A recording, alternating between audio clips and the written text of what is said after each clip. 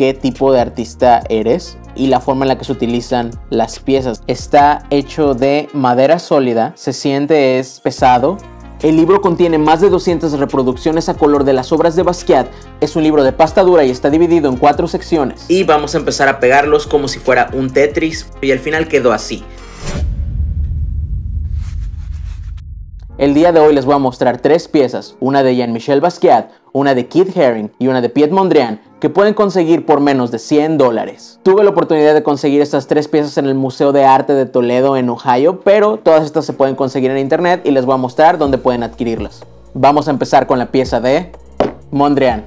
Esto es algo muy interesante, es un art puzzle, un rompecabezas de arte, que al final del video les voy a mostrar cómo lo convertimos en una pieza de decoración para nuestra casa. Comencemos por quién hizo esto. Este rompecabezas, si es que se le puede decir así por sus peculiares formas geométricas, fue elaborado por la editorial independiente Lawrence King Publishing. Lawrence King Publishing es una casa editorial independiente basada en Reino Unido y fundada en 1991. Se especializa en libros de arte, fotografía, arquitectura, moda y cultura visual. Algo que caracteriza a Lawrence King es que la calidad es muy, muy buena, es increíble. Así que empecemos por saber un poco más de este rompecabezas de Piet Mondrian al preguntarnos, ¿quién es? Piet Mondrian fue un pintor danés que jugó un papel crucial en el desarrollo del arte abstracto a principios del siglo XX. Nació el 7 de marzo de 1872 en Ámsterdam, Países Bajos, y murió el 1 de febrero de 1944 en Nueva York, Nueva York, Estados Unidos. Mondrian comenzó su carrera artística como un pintor de paisajes hasta que gradualmente viró hacia el arte abstracto. Fue una figura clave en el movimiento de Stigl que buscaba la abstracción pura basada en figuras geométricas y colores primarios. El estilo de Mondrian evolucionó a exponer figuras geométricas, principalmente rectángulos y líneas. Sus composiciones a menudo utilizaban colores primarios, azul, amarillo y rojo, así como colores como negro, gris y blanco. El arte de Mondrian buscaba expresar una armonía y orden universal que reflejaba su creencia y en el significado espiritual de colores y formas abstractas, y su trabajo tuvo una gran influencia en el arte y diseño modernos. Algunas de las obras más famosas de Mondrian incluyen composición con rojo, azul y amarillo, Broadway Boogie Woogie, Victory Boogie Woogie, y composición con rojo, azul, amarillo, negro y gris que pude ver en persona en el Museo de Toledo en Ohio. Y al día de hoy su legado continúa siendo celebrado y estudiado por críticos, historiadores y artistas. Lo que nos trae ahora a este art puzzle Haz tu propio Mondrian. ¿De qué se trata? Como lo mencioné antes, Haz tu propio Mondrian es un libro publicado por Lawrence King Publishing y busca dar una experiencia interactiva y educacional enfocada en el trabajo del pintor danés Piet Mondrian. El puzzle tiene 57 piezas, está inspirado por Piet Mondrian y tienes que crear tu propio Mondrian utilizando los bloques que vienen aquí, organizándolos de la manera en que tú quieras, haciendo las formas que tú quieras. Puede ser tan pequeño como tú quieras, tan grande como todas las piezas. Vamos a destaparlo. Lo primero que vamos a encontrar en este unboxing van a ser las instrucciones. Como pueden ver aquí en estas instrucciones encontramos una pequeña biografía de Piet Mondrian y encontramos unas instrucciones. Dice, no hay una manera correcta de hacer tu propio Mondrian, sin embargo aquí hay unos tips para ayudarte a comenzar. No tengas miedo de utilizar mucho blanco, dado que las composiciones de Mondrian utilizaban y normalmente estaban dominadas por el blanco. Puedes hacer un mini Mondrian usando solo unas pocas o un mega Mondrian con todas. Tu meta tiene que ser crear algo en donde todos los elementos funcionen como uno solo. También te recomienda que tomes fotos de tus composiciones para que veas si te gustan y si no las puedes cambiar con el tiempo. Da unos cuantos ejemplos de cómo es un mini Mondrian. Explica cómo es una composición con la mayoría de blancos, composiciones con tres colores y negros y un mega Mondrian y da unos ejemplos de qué tipo de artista eres y la forma en la que se utilizan las piezas, incluso utilizando las piezas en una forma que no forma un cuadrado al final. Lo siguiente vamos a mostrar un poco de las piezas.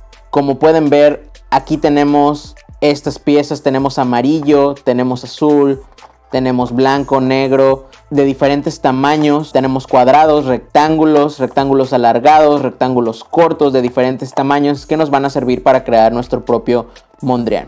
Ahora, al final de este video les voy a mostrar cómo hicimos este Mondrian, el Mega Mondrian, cómo lo vamos a armar y mantener en su lugar para poder enmarcarlo y tenerlo como una pieza de decoración aquí en nuestra casa.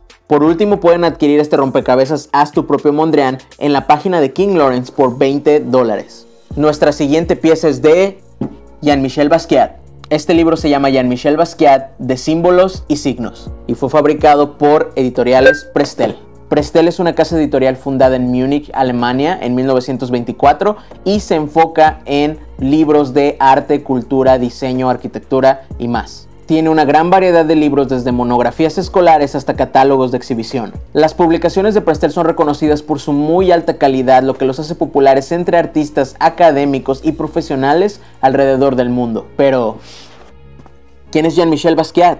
Jean-Michel Basquiat fue un artista estadounidense que se volvió famoso en la década de los 80 como parte de la escena del arte en Estados Unidos, en Nueva York. Basquiat comenzó su carrera artística como un artista de graffiti a finales de 1970 bajo el seudónimo Samo, que significa Same Old Shit. Ganó popularidad por los mensajes crípticos y a veces catalogados como provocadores mensajes que dejaban graffiti en Downtown Manhattan. A principios de los 80, Basquiat transicionó a pintar en lienzo, donde ganó popularidad muy rápido por su estilo expresivo y crudo que mezclaba las artes plásticas con el street art. Sus pinturas a menudo presentaban colores sólidos, trabajo de pincel dinámico y una mezcla de imágenes de diferentes fuentes incluyendo arte africano, diagramas anatómicos y referencias a la cultura pop. El trabajo de Basquiat exploraba temas como raza, identidad, política y la condición humana, reflejando sus propias experiencias como un artista negro navegando el mundo del arte en los 80s. Basquiat falleció trágicamente el 12 de agosto de 1988 a la edad de 27 años,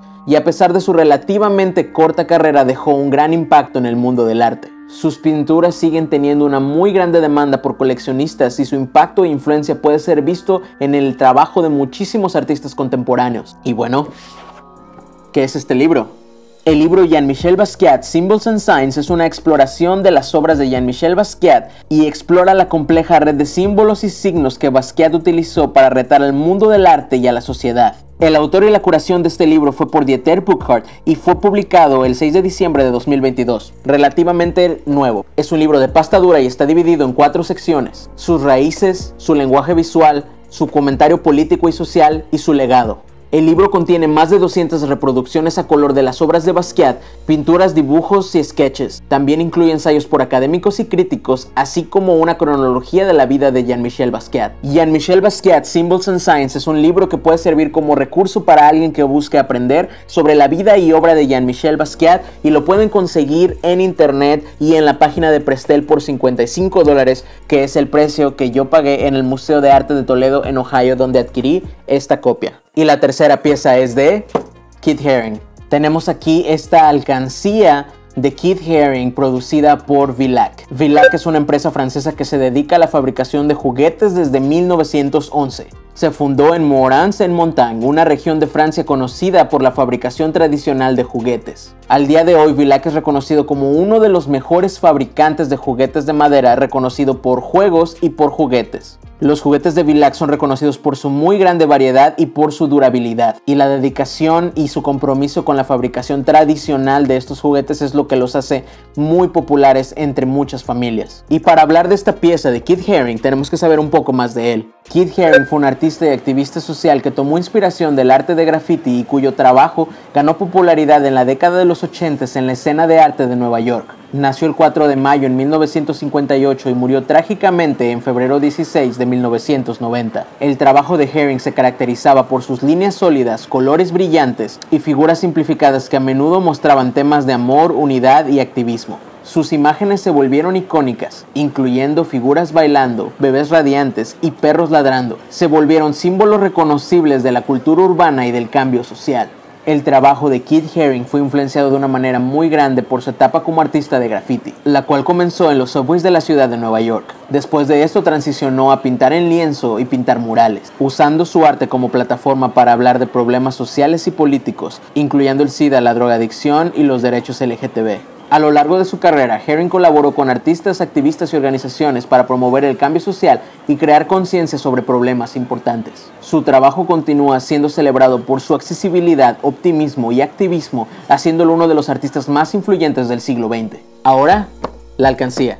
Esta alcancía o tirelire, como viene escrito en la caja porque es la traducción del francés de alcancía o piggy bank, es una alcancía decorada con el artwork de Kid Haring y es un coleccionable funcional muy buscado por niños y adultos. Ahora vamos a abrirlo. Aquí tenemos Kid Haring por Vilac, una caja muy bonita y vamos a abrirlo. Al abrirlo aquí está la pieza de Kid Haring. Vamos a ponerlo por aquí. Y aquí lo tienen. Está hecho de madera sólida. Se siente es pesado. El diseño es muy bonito. Y muestra el diseño de el Crawling Baby. Que no debemos confundir con el Radiant Baby. El Radiant Baby es el que incluye los rayos. Este que solamente es el bebé. Se le conoce como el Crawling Baby y tiene una apertura en la parte de arriba para introducir monedas y una tapa de elástico en la parte de abajo para fácil acceso a tus ahorros. Es un coleccionable muy buscado y muy bonito que personalmente no voy a utilizar como alcancía, pero sí lo voy a utilizar como una pieza de decoración en mi casa. Esta alcancía o tirelire de Kid Haring hecho por Vilac tiene un costo de 30 dólares y lo pueden adquirir en internet o en la página de Vilac por el mismo precio. ¿Cuál de estas tres piezas fue su favorita? Si llegaron hasta aquí, no olviden quedarse porque vamos a armar un Mega Mondrian y vamos a montarlo justo ahora. Dejen su like, su comentario y suscríbanse. Y los que quieran quedarse, vamos a montar este Mondrian en la sala. Para comenzar vamos a utilizar este pegamento que son unas bolitas de silicón doble cara que son PhotoSafe, compramos en Amazon. Y este póster de 16 por 20 pulgadas que vamos a utilizar para pegar aquí el Mondrian. Después de esto vamos a seguir con el marco que es un marco modelo Riva de 50 por 70 centímetros con un área visible de 16 por 20 pulgadas. Entonces comenzamos a montar el Mondrian con el diseño que mi esposa preparó. Ella armó el rompecabezas con este diseño donde utilizamos casi todas las piezas. Después utilizamos las bolitas de silicón para pegar el mat a la mesa y empezar a poner el Mondrian. Solamente sobreponerlo encima de este póster para saber que fuera del tamaño correcto. Después de esto vamos a pegar una bolita de silicón en cada una de las esquinas de cada pieza y vamos a empezar a pegarlos como si fuera un Tetris una por una. Así lo hicimos con todas las piezas una por una literalmente como si fuera un Tetris asegurándonos de que no hubiera ningún espacio entre ninguna de las piezas para que estuviera muy estrecho y al final quedó así. Después de esto vamos a poner este póster encima o detrás del mat de la María Luisa que tiene este marco. Vamos a quitar la protección y vamos a poner, asegurarnos que sea del tamaño correcto. Después vamos a quitar el acrílico y vamos a quitar el film protector y vamos a poner el póster encima, lo pegamos con cinta y después vamos a darle la vuelta y tenemos este resultado. Vamos a utilizar unas herramientas de diseñador marca Hoto para montarlos y este es el resultado final. Después lo pudimos poner aquí en la pared y qué les parece. Déjenos saber si les gustó el resultado y si ustedes lo harán con su propio Mondrian.